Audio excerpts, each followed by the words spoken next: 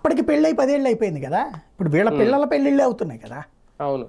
అంటే రాజశేఖర్ రెడ్డి ముఖ్యమంత్రిగా ఉండే టైంకి వీళ్ళిద్దరికి పెళ్ళిళ్ళు అయిపోయినాయిగా ముఖ్యమంత్రిగా ఉండే టైంకి వీళ్ళిద్దరికి పెళ్ళిళ్ళు అయిపోయినాయి కదా. అవును. పెళ్ళిళ్ళు అయిపోయిన తర్వాత ఒకవేళ రాజశేఖర రెడ్డి ఏమైనా ఆస్తి సంపాదించుకుంటే అప్పుడు దాంట్లో అమ్మాయికి వాటా వస్తుంది. నో డౌట్ లేదా హిందూ అవిభాజ్య కుటుంబ సంస్థలాగా. ఇప్పుడు రామోజీరావు గారి సంస్థలు ఉంది. హిందూ అవిభాజ్య కుటుంబ సంస్థ అన్నారు. కాబట్టి రామోజీరావు గారి కొడుకులకి ఆటోమేటిక్గా వారసత్వం వచ్చేస్తుంది. అటు సుమన్ గారికైనా కిరణ్ గారికైనా. వాళ్ళిద్దరికే వస్తుంది.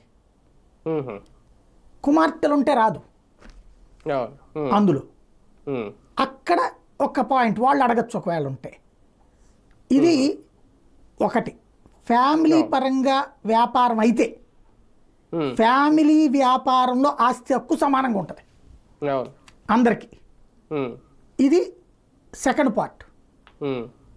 థర్డ్ పార్ట్ ఏంటంటే ఇక్కడ వ్యాపార సంస్థలు పెట్టుకున్నదంతా జగన్మోహన్ రెడ్డి. వాస్తవంగా అతను నాకు తెలిసి తొంభై తొమ్మిది ఆ టైంలో నుంచి తొంభై ఎనిమిది తొంభై తొమ్మిదికే అతను వ్యాపారస్తుడు జగన్మోహన్ రెడ్డి.